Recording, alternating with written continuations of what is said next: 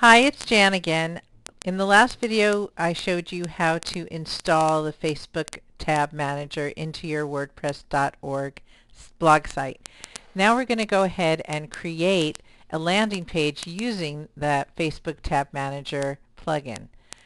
So what we're going to do is come here to Facebook Tabs and click on Add New. And I picked up my um, HTML from a different ad, a different landing page so that I could just show it to you. And here we click on visual and so you want to think about what text you're using, what picture you're using, if you want to put a video on it, and also if you have Aweber or some other autoresponder site, you want to go in there and create your landing page opt-in box and then just put that into the HTML on your page. So now with that done, we're going to scroll down. And here we have some options. Um, and the only options I'm going to click are to open this into a new page and also to hide the post title because I am going to create a post title that's just going to say test. So I didn't really want that to show up on the landing page itself.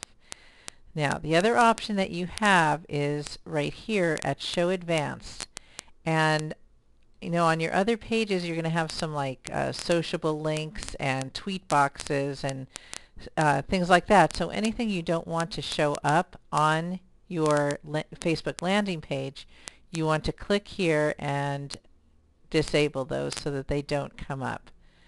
Um, the related links, you probably don't want that on there also, right? And Twitter, we don't want that.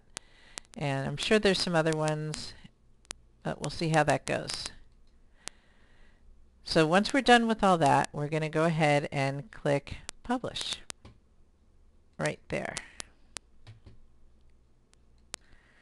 Great, so now that's all set to go. And let me scroll down and just show you right here that once you published it, it now creates for you all your Canvas URLs that you need and your tab URLs that you are going to be able to put into Facebook. And if you want to, you can just click on this Facebook Tab Manager.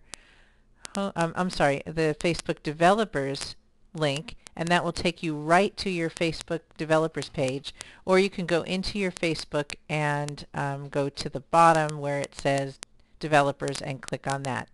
So we'll see you in the next video where we're going to hook this all up and get our Facebook landing page going. Bye for now.